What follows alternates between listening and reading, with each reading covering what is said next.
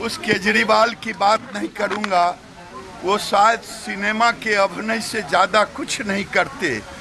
जो पूरा देश ने देखा, राम जन्मभूमि पर जो गालियाँ दी, मेरी नानी कहती है कि मैं वैसे मंदिर नहीं जाऊँगा जहाँ मस्जिदों को तोड़ करके छी छी छी। ये वही केजरीवाल हैं।